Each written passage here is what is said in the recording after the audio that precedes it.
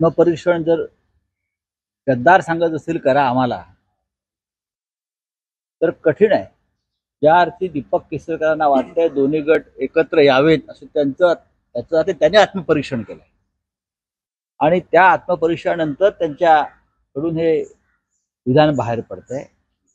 मला वारंवार सांगतो हे सरकार टिकणार नाही.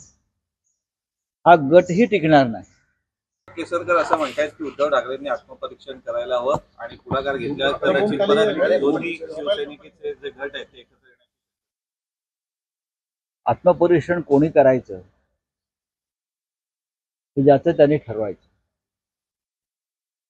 उद्धव ठाकरे यांच्या नेतृत्वाखालची शिवसेना हीच शिवसेना. आत्मपरीक्षण जर गद्दार सांगत असेल करा आम्हाला तर कठीण आहे. या राज्याच्या जनतेनं ठरवलेलं आहे. की जे गद्दार आहेत ते सोडून गेले आहेत त्यांना परत विधानसभेत किंवा लोकसभेत पाठवायचं. आत्मपरीक्षणाची अजिबात गरज नाही. उद्धव ठाकरे यांच्या नेतृत्वाखालची शिवसेना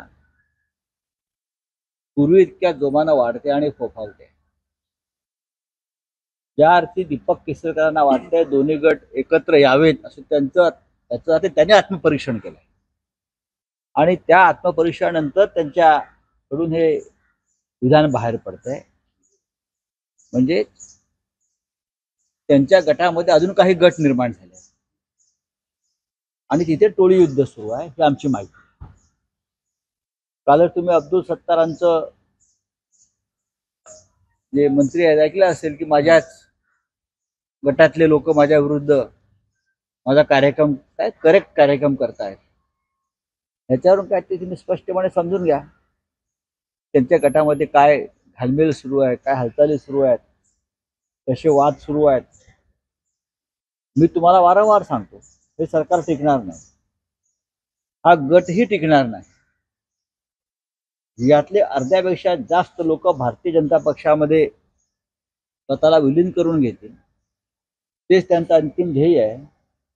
कारण त्यांना परत शिवसेना स्वीकारणार.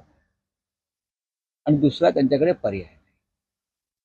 दीपक केसरकर यांनी आत्मपरीक्षणाची केलेली भाषा एकत्र येण्याची भाषा हे त्यांच्या गटाचं एक वैफल्य आणि निराश. तर तुम्ही बोलल्याप्रमाणे फेब्रुवारीपर्यंत सरकार बदल. काय वाटतं कधीपर्यंत? त्यामुळेच तर केसरकर बोलतायत ना एकत्र येऊया म्हणून. कशा करता बोलतात वैफल्य ही निराश आहे. सोळा आमदार अपात्र ठरतील. कायदेशीर दृष्टीने आमची बाजू स्ट्रॉंग आहे. ठीक आहे विलंब होतोय न्यायालयात. पण मंजिल होई है